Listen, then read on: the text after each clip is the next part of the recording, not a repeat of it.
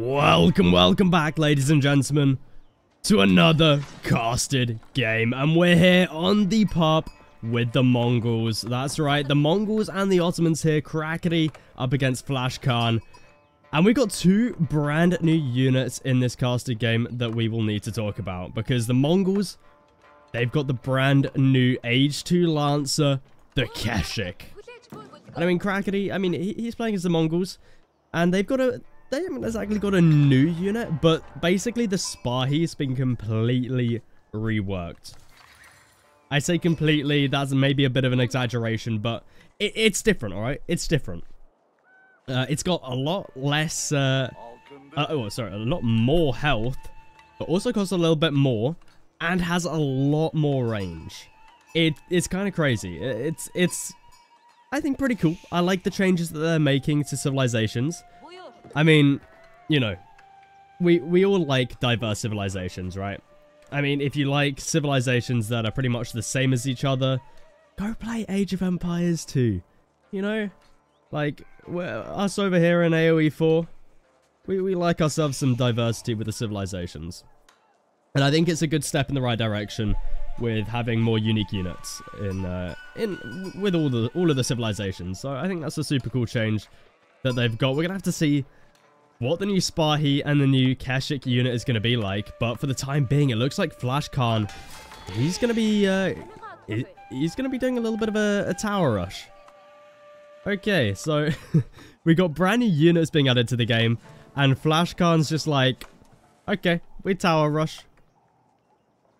Like, uh, okay, okay. That's, I mean, ho hopefully we do actually see the new unit in this game because if it is just a, a, a, tower rush, then that could be a little bit underwhelming, but we are on the map Prairie today, so it is a good map to tower rush, I'll give him that. It's it's a really easy map, you can, you know, stick down your, your towers around the back of the uh, the wood line. You, you've also got them the Khan that can run in, use the Eagle ability, and then they can spot all of the villagers, so... If there's any map to do it, it's definitely this one. But Crackety looking to age up with the Sultanhani trade network. So this man knows how to make content because trade has been reworked, okay? Trade has been reworked. I've just realized I can't actually zoom in or out. Oh, odd. Okay, well, I'll figure that one out after the game. I was going to zoom in here, but I, I can't. Um, but anyway, trade's been reworked. So trade is completely different now. And basically the way it works is trade gives you gold for every trip it makes to any market. Well, either way, basically. So a trader walking from here to here might generate like, I don't know, 30 gold, right? 30 gold. But then on the when it's walking back, it comes here, it'll also give 30 gold. And then when it walks back here, it'll also give 30 gold. So it's basically, it basically halves. Uh, it's, it's half of the last trade basically, but then it's doubled again by, uh, by the trip that it makes, right? So it's a it's a clever way to negate the trade trick, basically. Um, it's, it's sort of like built in now. So, you know, let me know what you think of that change. I think it's it's pretty clever. It's it's probably not the best fix, but you know, it is what it is. It's better than the trade trick still being in the game. And there it is. The age up does come through. Flash Khan going to be starting to siege down this house with the spearman. That's how it is going up behind the wood line. Two Spear's going to be guarding that one out. And Crackety going to be immediately dropping down an archery range. Going to be able to defend from that uh, that Spearman. That That's how it is going to get up, though. So Crackety may have to be a little bit careful. Does still have uh, a couple straggler trees that he can uh, chop, but... Speaking of which, they still haven't fixed these straggler trees. They're still further away than any other map, which... I don't know. I feel like they should have fixed it at this point, but... It is what it is, and that tower is going to get up. Crackety does have out his first archer. Those spearmen are going to get pushed away. Villager also coming out to repair that up. Doesn't want to give Flash Khan any sort of uh, bouncy. Crackety going to be moving over to, onto the stone now. I assume for a military school. The outpost is up. Two spearmen sit inside. Back in the base, though. Flash Khan should be able to age up. Closing quite a bit of uh, food right there. Might just want to do a little bit of a force drop off there with the villagers. Krakeny, he's having to make use of these straggler trees. Unfortunately for him, they have not been fixed, so there's a long, long walking distance right there, but better than no wood, I guess. Krakeny at the moment. He's going to have to address this issue soon. We can't wait for siege engineering for, for that tower. But back in the base of Flash Khan, Deerstones is coming down as well as a stable. So hopefully this means we see the new unit. I, I have no clue why I can't zoom in, by the way. Maybe, maybe, maybe we take a quick look right now. Let's, let's take a quick little look. Oh, I know so many of you are going to be clicking away right now. Oh, God, it's awful. Uh, zoom, zoom in camera, zoom out cam. What? Okay, well, well, bugged game, bu bugged game, I guess. I, I don't know why it's doing that. That's, uh, that's kind of a shame, though. Um, yeah, I don't really, sorry about that, guys. I can't really zoom in. I was, I mean, look, the the skin of the Keshik is still the same as a lance, and we all know what a lancer looks like, so we we don't need to uh, we don't need to zoom in that far, right? But Flashkhan are going to be moving his stable over to that Ovoo. Going to be able to double produce those Keshiks. Villager for Krakeny, unfortunately, does get spotted out here. Khan just two steps ahead of him. Has a Spearman there ready. I mean, it's kind of to be expected with the uh, when you got with the Sultanhani trade network. And Villager's looking to get pulled here.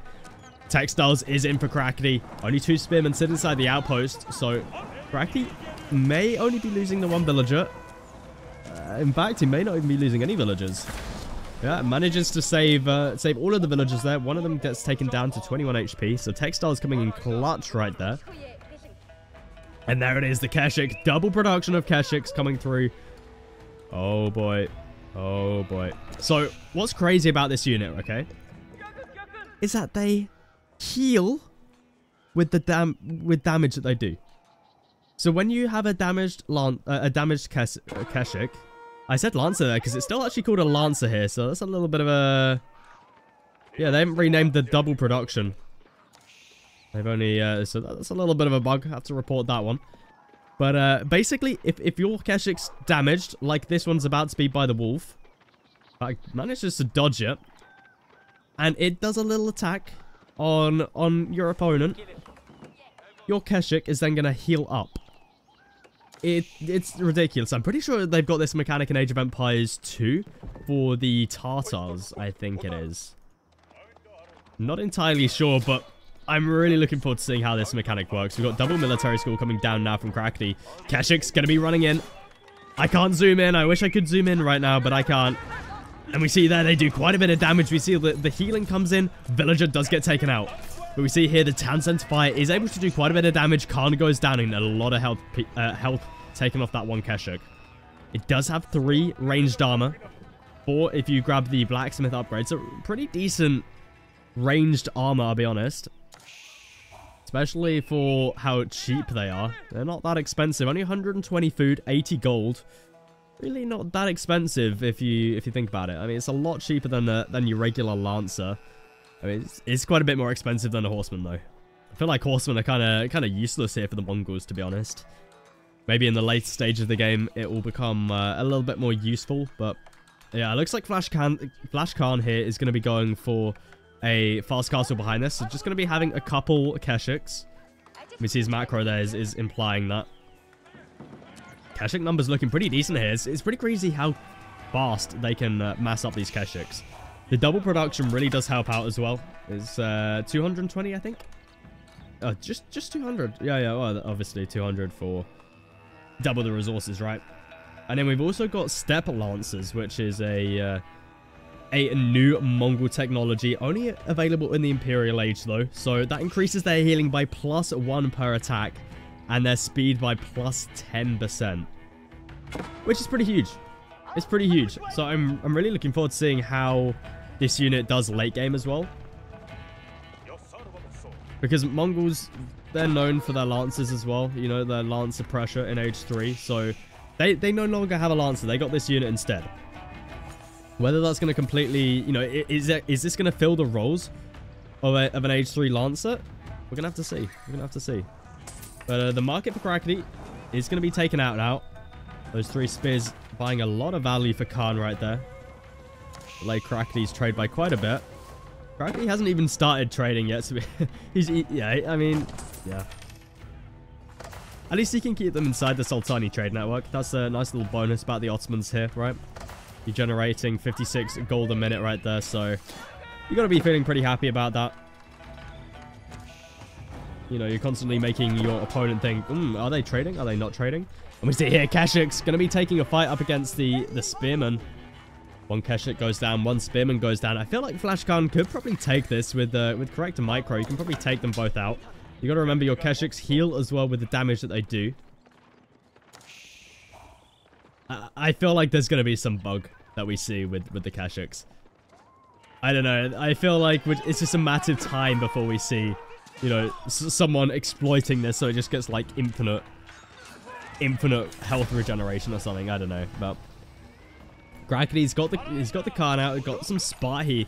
Finally, we're seeing the Spahi coming out. More health, more attack, more expensive, and more importantly, more range. And range range is a crucial one, and hopefully you'll we'll see why later because these things are like hoplites. Like, re like real life hoplites. Because they can attack like three. Like, if you've got three in a little line, the third one can actually still hit your opponent. It's crazy. It's crazy. Uh, hopefully we do see it. Is Crackety at the moment, he's got both military schools set to Spahi.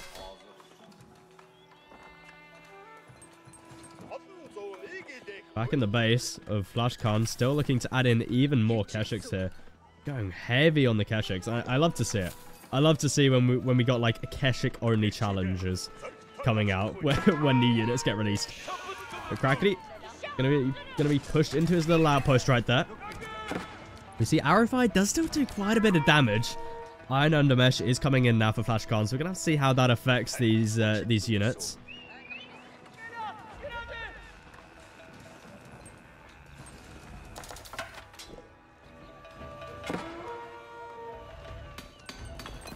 Looks like Crackley's going to start to trade again. We see const the, the traders will always have gold in their bags now. You'll never have an empty bag because whatever trip they make, they will uh, they'll always be carrying some sort of gold. The Kraken is going to be aging up now. Mehmed Imperial Armory coming down. Is the Keshik um, uh, upgrade in? A veterancy upgrade is in for the Keshiks, so that's good to see. Relics also being brought in. So Keshiks now have 175 HP and 4 ranged armor. With Iron Undermesh coming in as well, we'll have plus 5, which is going to be going to be um, much more tanky underneath the arrow fire of Crackety. Crackety doesn't have his plus 1 attack, so... Crackety manages to take out a Keshik right there. Pretty good value for him right there. Spahi's still coming out from the military schools. Now we've got an actual stable coming down. Yes, Crackety.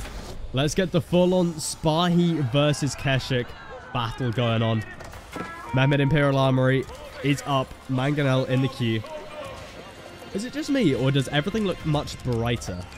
I don't know. These these symbols look much brighter than they did before. maybe I'm uh, maybe I'm hallucinating. I don't know. But Keshik's Able to find a couple of kills in there. Trader's going to get taken out as well here. And this is what makes the Keshik such a good raiding unit. And I love that the Mongols have got this unit. It really enforces that they're a raiding civilization, right? Because when you attack with these units and you pick off villagers, they don't do damage to you, but you do damage to them and you heal up your units. I, I really like it. I think it's super smart. And Crackly maybe looking to lose his uh, meta here. Keshik, we see this one was quite damaged. Now it's full up. Now it's back up to full HP. Such a cool unit, honestly. This is going to be one of the, the most fun units in the game now, I think. Maybe that's a little bit of an exaggeration, but I, I, I just love to see units like this being added into the game. we see here the Spahi with their insane range. Have a look at that. Look how far back it's hitting it. Pretty crazy stuff right there.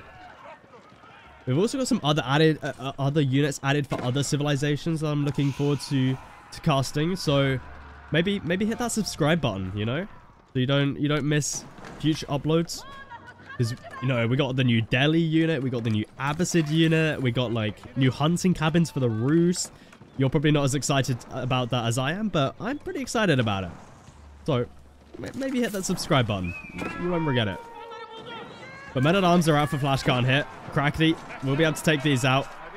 Spahi, with that increased damage, you can see, are able to take out men-at-arms a little bit faster. Men-at-arms underneath the TC. Plus two defense is in for Flash Khan. No plus one attack yet in for Crackney. In fact, he hasn't grabbed any upgrades here. And yes, Crackney, this is what I like to see. Four stables being dropped down. Another blacksmith. Going to be getting that increased production speed for the Spahi. A little bit of idle time under there as well. And Flash he's got his second town center down now. We see villager count relatively even. Flash Khan a couple vills ahead due to uh, due to his raids earlier on. But Crackney looks to just mass up Spahi for the time being. Veterancy upgrades are in. No blacksmith upgrades yet. Maybe want to start to think about that. But Keshik's going to be running in here. I feel like Mongols is, is S tier on this map. Honestly, like the tower rush that they can do. And now they've got the Keshik, which is the perfect raiding unit. Just jumping on top of uh, wood lines for a few seconds, dealing a ton of damage, healing up all of your units, then skedaddling. Skedoodling. Skedaddling you know, it, it's so good. It's so good. And they're available in the, the feudal age. I feel like this is better than French knights at raiding, I'll be honest. And we got a huge mass of Keshiks on the way. Both players looking to just mass cavalry right here. Flash Khan's actually managed to pick himself up all five relics on the map, which is pretty nice for him. Crackety has managed to wall up. Definitely a, a wise decision in this situation. I mean, the, these Keshiks they're brutal. They are brutal. If he if he can break through him, Crackety, for some reason, doesn't respond by pulling these villagers back. If these are able to jump on top of them, and, and you get off, like, the attack speed arrow, they're all dead. They are all dead. There's no way they're getting back to that TC. And Crackety, he, he has to be careful here. Has he not noticed? Crackety. Wall goes down. Flash Khan. Crackety reacts in time, though. He's going to be able to retreat back, but that might be a lot of dead vills. Do we have a do we have the maneuver arrow coming through? No, we don't. But the spearmen are here. Now, these are still quite a squishy sort of unit. Uh, they got decent health, but compared to a lancer, these will get taken out very fast to a uh, to a spearman. Movement arrow comes through, and they're going to be off. They're going to be running away. So Crackety's plan right now is just mass Spahi, and I love it. I absolutely love it. Just mass Spahi with a few spears in here as well. Always a good shout. Well, it looks like Khan's uh, idea has not changed. Just, oh, okay, never mind. I take it back. He's making some crossbows, but crossbows, they don't counter Spahi. Uh, Spahi, in fact, countered them. So, yeah, kind of a kind of an odd one there for Flash. He's also uh, going to be up against a Mangonel, but Keshiks, if they can jump on top of it, should be all right.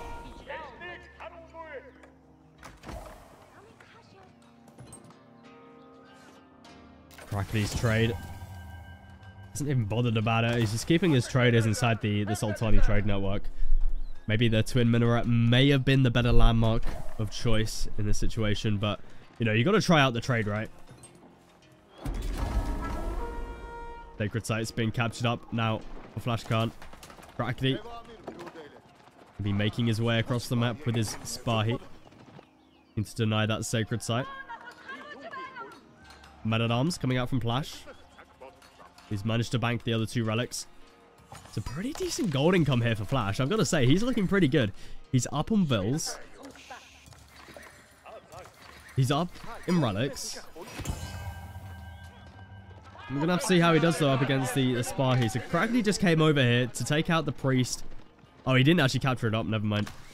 I thought uh, I thought the Sacred Site was captured up, but clearly not. And now Gonna be making his way across to Flash Khan's base. But here, the Keshiks are in. Look how fast they, they're able to kill Vills.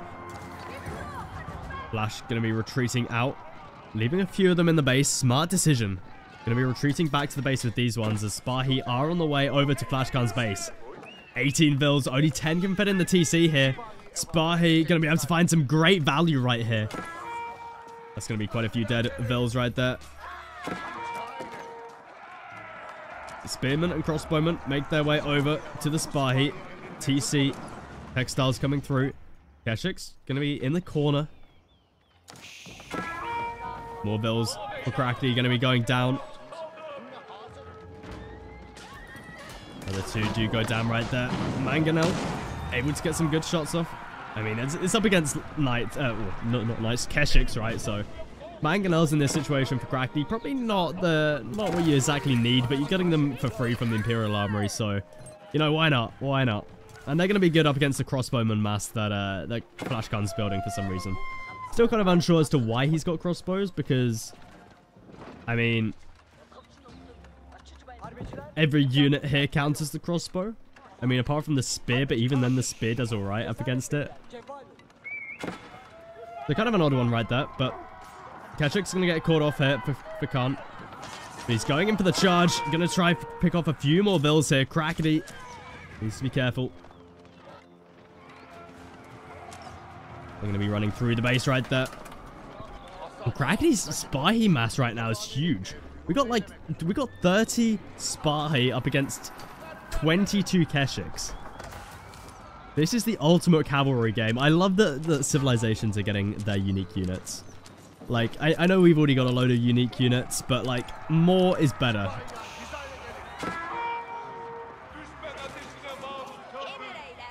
Nice micro coming out from Crackety right there. Able to keep the four Vils alive from the stone.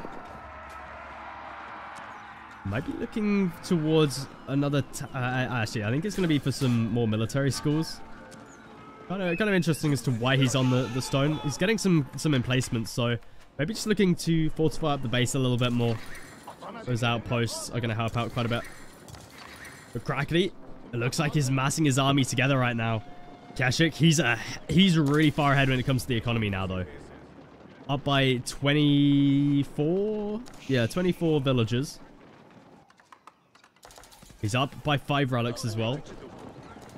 He's got a pretty big mass right here. Crackety. He needs to take a good fight. This is this is his last chance. He's got Lancers coming out of his own. But th this could be bad for Crackety. He's got no Springalds in here. He needs to, he needs to pray he can get some good shots off or try and take out the... Uh, oh, oh, man. Those Keshiks just got obliterated. He needs to try and take out the, the Springalds with his Spahi, but Spahi going to be running in. Mangonel's able to take some alright shots. We see here Springalds able to take some nice shots onto the Mangonels. Spahi going to be running around the back here. Let's see their surround. And we can see here Spy trying to get on top of the units, but I mean, Flash Khan here, he's looking strong. Crackety taking a, a, pretty bad fight here. All three Mangonels go down, and Crackety, he's down in Eco, he's down in Relics, he's down in Army, and he's now called GG. There it is. The Keshik in Age of Empires 4 is finally here, and it's looking like an absolute beast. So if you did enjoy this game, please do feel free to leave a like, maybe even consider subscribing. Subscribe, guys, come on. And I'll catch you guys in the next one.